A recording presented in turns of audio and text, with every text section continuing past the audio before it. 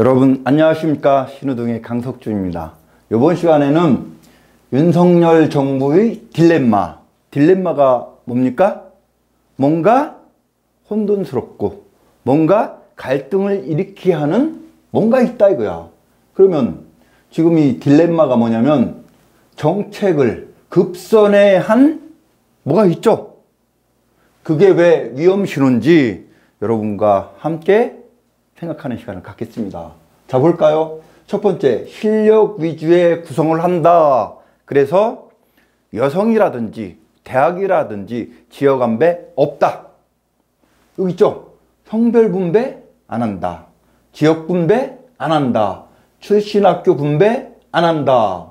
그러면 요 세 가지를 안 하면 실력 위주로 무조건 간다.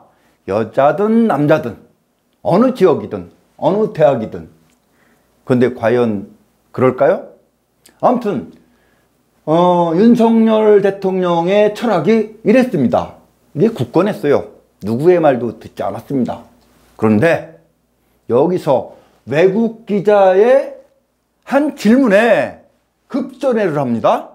그동안 누가 뭐라고 해도 전진, 전진만 하던 윤석열 대통령께서 왜 갑자기 기자의 한 질문에 뭔가 확 깨달았다. 뭔가 충격을 줬다. 이거죠? 그러면 이게 뭡니까? 어, 한 기자가 왜 여성들을 강요해서 배제시켰느냐라는 질문을 하니까 당황하기 시작했습니다. 그러면서 급 포기를 했죠. 뭐를요? 성별 분배 안 한다 포기, 지역 분배 안 한다 포기, 출신 학교 분배 안 한다 포기 했습니다. 물론 이건 아니겠죠. 실력 위주로 하겠다는 기조가 지금 급선회됐습니다. 그러면 위험 신호죠. 그렇다고 하면 은 윤석열 대통령의 철학과 성격을 알 수 있습니다. 그 전에 보면 이와 똑같은 이와 유사한 사건이 있었습니다. 대학 시절에 뭘까요? 여기 볼까요? 전두환 전 대통령이 대통령 되기 전에 광주 사태가 일어났다고 하죠. 그러니까 윤석열 대통령이 대학 시절에 모의 재판을 냈는데 거기서 무기징역을 때렸다고 합니다. 자, 그러면은 여기서 실력 위주로 하겠다 확고한 뭔가 철학이 있었죠. 여기서 마찬가지입니다. 전두환 전 대통령은 무기징역감이다 라고 했습니다. 그리고 나서 얼마 안 돼서 전두환 전 대통령이 바로 대통령이 당선됐어요. 그러니까 어떻게 했어요? 급 도망갔다 이거야. 그러면 실력 위주로 정부를 구성하겠다는 확고한 철학이 갑자기 한 기자의 질문 때문에 급 포기하고 선회하는 그 성격이 여기도 나타난 것입니다. 왜냐고요? 전두환 전 대통령 무기징역 때렸을 때는 뭐예요? 중재인이다 이거야. 그런데 갑자기 당선되니까 그 당당하던 그의 모습이 어디였나? 급 도망갔습니다. 그러면 급폭이나 급 도망간 거나 비슷한 어떤 흐름입니다. 그렇죠? 그러면 여기서 왜 대통령이 이렇게 철학이 급선회하고 뭔가 급브레기를 잡는 이런 충격이 오면은 약하다는 것을 보여주는 것입니다. 그러면 지금 한반도의 정세를 보면은 이것이 위험 신호입니다. 자, 그 다음에 두 번째, 김건희 부인의 호칭에 관해서 요새 언론에는 옛날 대통령의 부인과 다르게 호칭하고 있죠? 이것은 누구의 의지입니까? 윤석열 대통령의 의지죠? 그러면 여기서 호칭이 뭐가 중요하냐? 이렇게 말할 것입니다.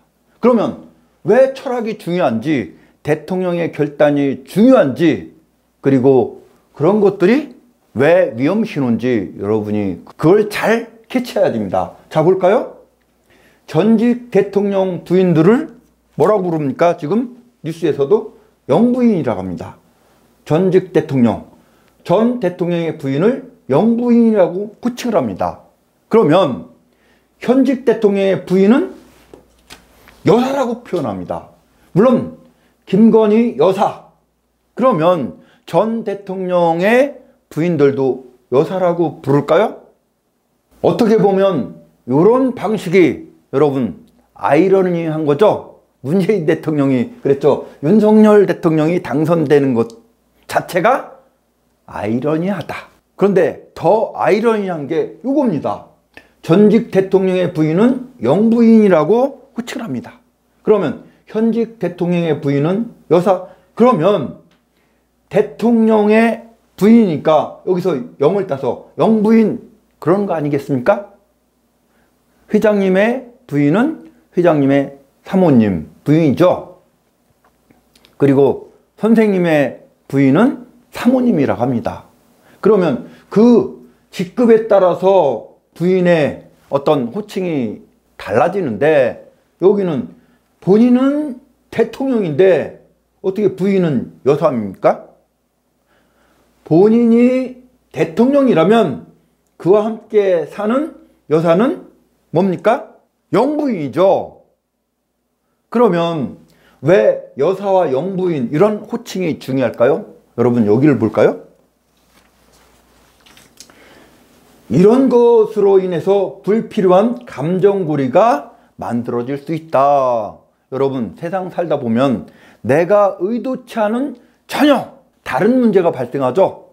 내가 의도한 대로 결과가 나와야 되는데 전혀 결과가 다른 곳에서 나옵니다.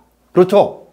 그것처럼 이렇게 전직 대통령 부인과 현직 대통령의 부인을 이렇게 달리 부르면 괜히 불필요한 감정고리가 만들어질 가능성이 커집니다.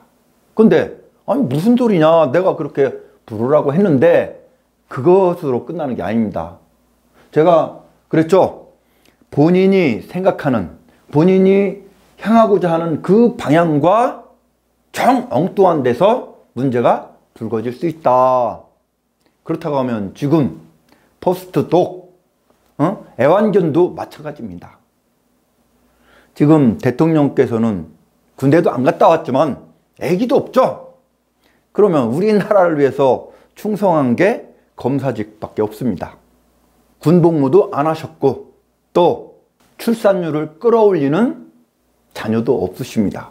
그럼 애국 활동을 안 했는데 그러면서 그 빈 공간을 때우기 위해서 애완견, 강아지를 키우시는데 물론 저는 좋다고 생각합니다.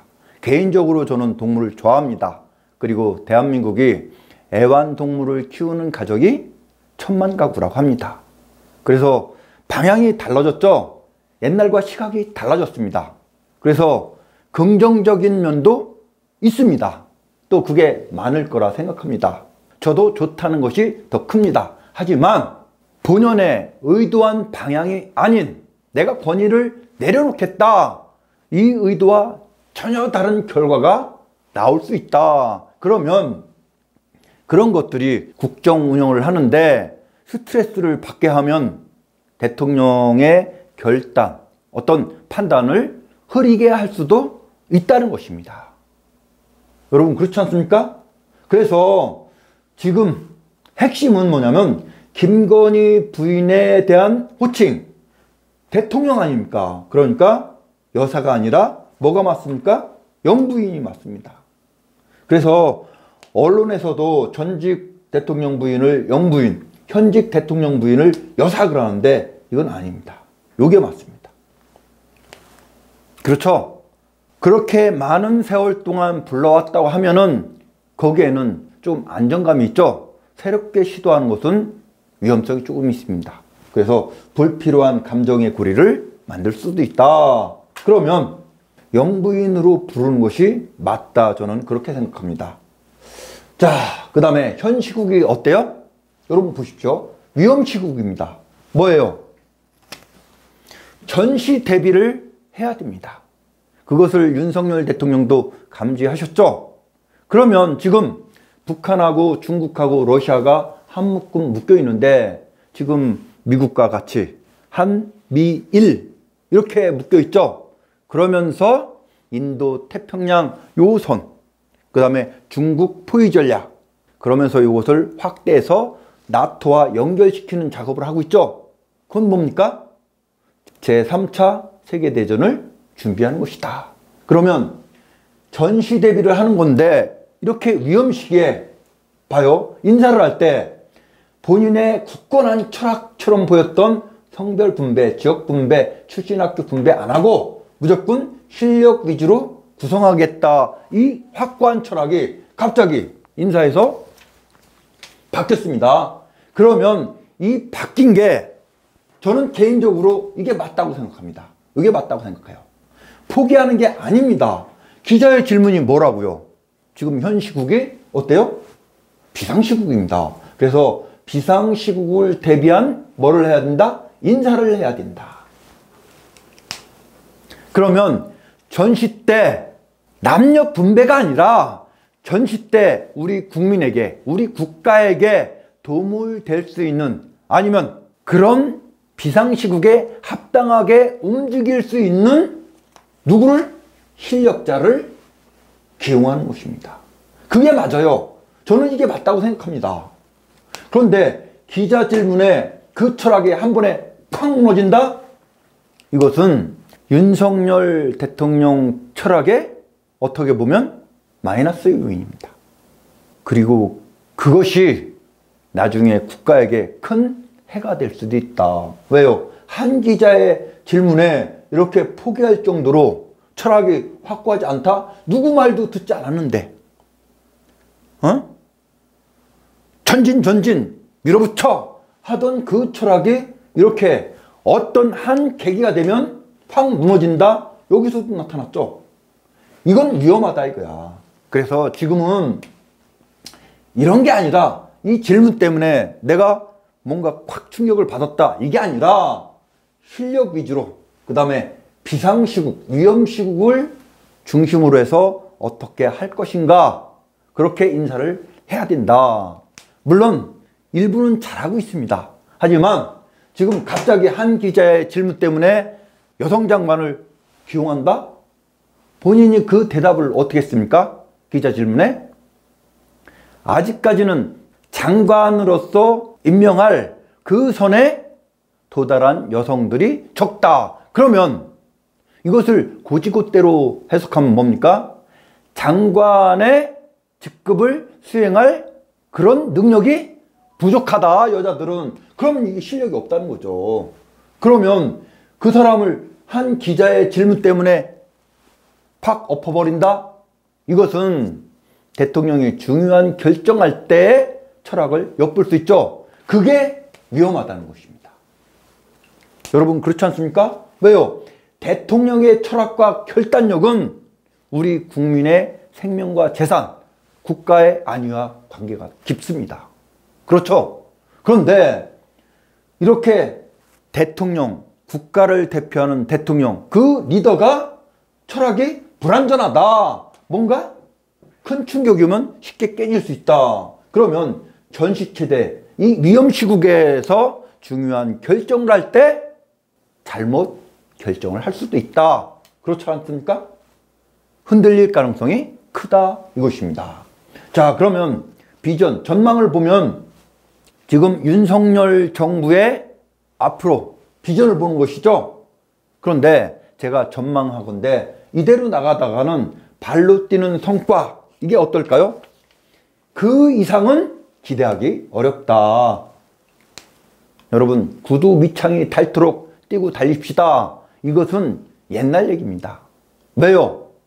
여러분 어떤 업무를 많이 줘도 그냥 노는 것 같이 쉽게 해결하는 사람이 있고 어떤 사람 발로 열심히 뛰지만은 한 가지도 해결 못하는 사람이 있습니다. 그것을 구상력이라고 해요.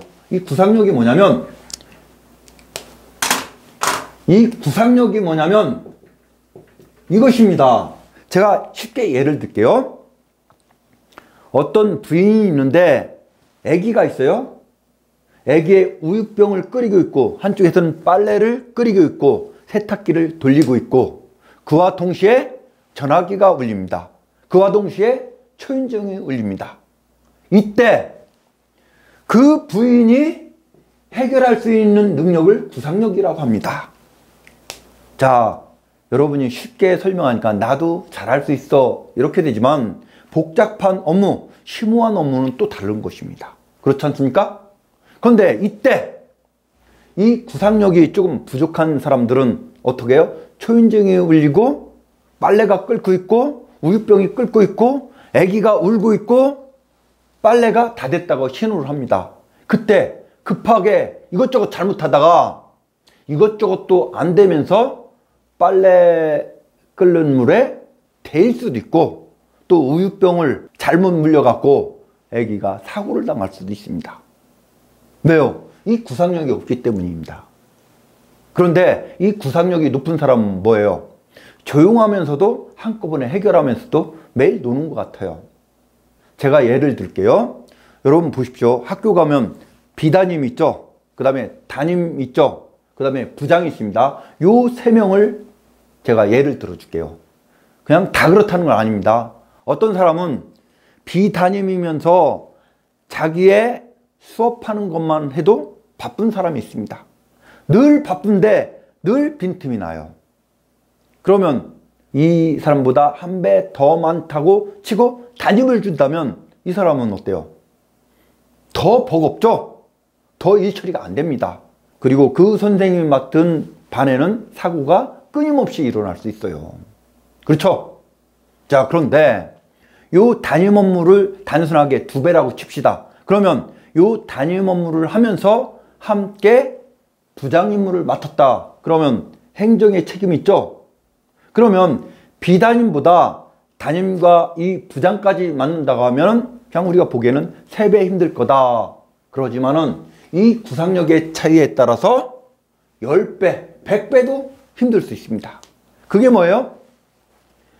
어, 발로 뛰는 이 성과가 아무리 보여도 성과가 없는 사람이 있습니다. 열심히 뛰고 달려도 그 능력이 한계가 있는 사람이 있어요. 머리가 좋고 나쁨이 아닙니다. 구상력의 차이예요. 옛날 로마 시대 백부장이 지금 핵물리학자를 못 당하죠? 어? 그거랑 똑같은 것입니다. 그래서 지금 보면은 윤석열 정부의 전망은 발로 뛰는 성과 이상은 바랄 게 없을 것 같다. 제가 보기에는 이대로 나가다가는 또 앞으로 어떻게 변할지 모르겠지만 제 강의를 보고 뭔가 확 깨달으면 또 변할 수도 있습니다. 그리고 봐요. 지구촌을 휘몰아치는 쓰나미, 대쓰나미가 뭐예요? 대세죠. 이 대세는 어떤 감당할 능력이 조금 약한 것 같다. 제가 보기에는. 여러분 보십시오. 우리가 호수나 저수지를 만들어서 물길을 대고 농사를 지을 수는 있습니다. 그러나 지구촌에 큰 재앙이 닥쳐서 지진이 일어나서 큰 쓰나미가 100m 높이로 온다 칩시다. 그러면 여기 저수지나 댐 갖고 감당이 안 되죠? 그러면 거기에 삽과 가래로 그 쓰나미를 막을 수 있습니까? 포크레인이나 불도저로 막을 수 있습니까? 막을 수가 없습니다. 그러면 이 대세를 감당하려면 어떤 능력이 필요합니까? 이 쓰나미를 윈도 서핑할 수 있는 그런 어떤 능력이 필요하다 이거야. 그런데 윤석열 대통령께서는 요 쓰나미 대세를 감당할 이런 윈도 서핑할 능력이 그렇게 많게 보이지는 않습니다. 자, 저는 있는 그대로 솔직하게 말하는 것입니다. 자, 그러면 아쉬움이 뭐냐 이거야.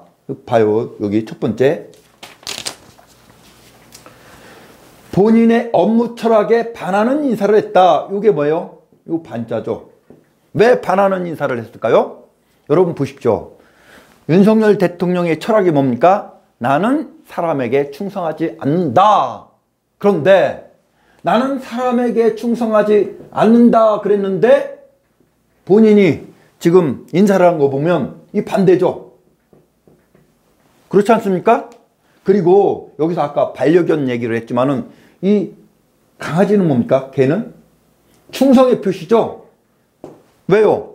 애완견이나 애완묘들은 자기 주인밖에 모릅니다. 그러면 본인은 어떤 인간에게 충성하지 않는다. 그러면서 뭐 국민에게 충성한다. 국민은 사람 아닙니까? 아무튼 간에 이런 철학이 내가 그대로 유지하는 게 아니라 그러면 나한테 반대하는 거나 내 성격에 맞지 않는 사람이나 나를 치는 사람을 어때요? 인용했어야 되죠? 근데 아니다 이거야. 또 하나는 본인의 철학이 확고한 것처럼 보였지만은 어떤 기자 질문에 한꺼번에 뭔가 충격을 느낀 것처럼 이런 충격이 오면은 급선회를 한다 이거야. 이것처럼 전두환 대통령의 경우처럼. 그렇죠? 무기징역 때려놓고 당당하게 있지 왜 도망갑니까? 그거나 이거나 똑같은 어떤 현상이라고 봅니다. 그러면 본인의 업무 철학을 확고히 할 필요가 있다. 이 충자가 뭡니까? 마음의 중심이죠. 마음의 중심이 뭡니까? 본인만의 철학입니다. 근데 여기서 봐요. 전직 박근혜 대통령 시절에 국정을 쳤죠. 이것도 대통령을 친 거죠. 핵심 인물. 그 다음에 문재인 대통령 때도 청와대를 쳤죠. 법무부 장관인 조국, 그 다음에 추미애 장관하고 치열하게 싸웠죠. 그 바람에 당선된 것입니다. 그런데 본인은 전혀 아니다 이거야. 그렇죠. 여기서 엿볼 수 있는 그의 철학은 내가 보면 이중심리를 갖고 있다. 이렇게 보는 것입니다. 자, 두 번째를 볼까요? 그 다음에 발로 뛸 때는 이미 지났습니다. 왜냐고요? 로마군처럼 방패와 장착 들고 여럿이 군집해서 나아가는 그런 시대는 끝났다 이거야. 다 늙어서 쭈글쭈글하고 흰머리가 나고 힘없이 보이는 그 늙은 박사가 핵물리학자다. 그러면 백만 대군 로마군이 달려들어도 핵단추 하나만 누르면 백만 대군이 한꺼번에 없어진다. 그러면 지금 시대에는 이런 노마 군단 같은 백부장이 필요한 것이 아닙니다. 그런데 윤석열 대통령께서는 지금 하는 첫발을 보면 로마 백부장 역할을 하려고 해요. 지금 남들과 만나고 이럴 때인지는 모르겠어요. 그것은 보여주기 위한 정치죠. 국민에게 보여주기 위한 정치를 하면 실력 위주가 아니죠. 그러면 이거를 분배를 해야 되겠죠. 그래서 기자 질문에 급선해야 하는 거죠. 그러면 이거는 뭡니까? 보여주기입니다. 인기몰이로 돌아가겠다. 나도 정치에 굴복하겠다. 이거 아니겠습니까? 자, 그래서 로마 군단식 백부장 이것은 우리나라 동이주의 부활, 대한민국의 부활, 그 다음에 세계를 아우르는 패공국가로 가기에는 좀 버겁다. 이렇게 생각합니다. 자, 그 다음에 여기 볼까요? 세 번째는. 그리고 가장 중요한 것이 지금 뭡니까? 가난한 사람을 구원해야 되겠죠. 물론 데스나미가 오고 있습니다. 이건 뭡니까? 전시체제죠. 제3차 대전이 가까이 오고 있죠. 지금 봐요. 인도 태평양 요 섬뿐만 아니라 나토까지 연결될라 가죠. 그리고 북한은 중국과 러시아와 지금 확고한 뭔가 동맹관계를 맺으려고 하죠. 맺고 있죠. 사실적으로. 그건 뭡니까? 지금 국제사회, 미국에서 요구하는 되돌릴 수 없는 검증 가능한 핵 포기를 해야 된다. 이게 북한은 안 되죠. 그러면 한반도에서 지금 3차 대전의 불씨가 일어나고 있습니다. 그러면 미국과 중국 전쟁터가 어디가 됩니까? 이 한반도가 될 가능성이 큽니다. 이런 비상시국에 이렇게 한 기자의 질문 때문에 본인의 철학이 한꺼번에 무너진다? 그리고 그 철학이 확 바뀐다? 이것은 굉장히 위험한 것입니다. 그렇지 않습니까? 그리고 또 하나, 지금 근본적으로 가난 구휼할 이 구원자 공식도 없어요. 그런 능력이 좀 떨어지는 것 같습니다. 물론 국민의 시선과 인기도를 위해서 모션을 취할 것입니다. 하지만 근본적으로 윤석열 대통령에게는 구세주 공식이 없습니다. 그러면 노력한다고 해도 그게 이루어지기가 쉽지가 않다. 왜냐고요? 영부인이신 김건희 여사께서 뭐라고 했습니까? 본인들은 영적인 사람이다. 그러면 영적으로 보면은 지금 어때요? 이 가난 구원할 구원자 공식을 갖고 있어야지만이 그 효과가 커지고 어때요? 운때가 맞아들 것입니다. 근데 그게 없다는 거예요. 가난 구휼할. 단지 욕심이 좀 컸죠. 그러면서 국민에게 보여주는 것은 뭡니까?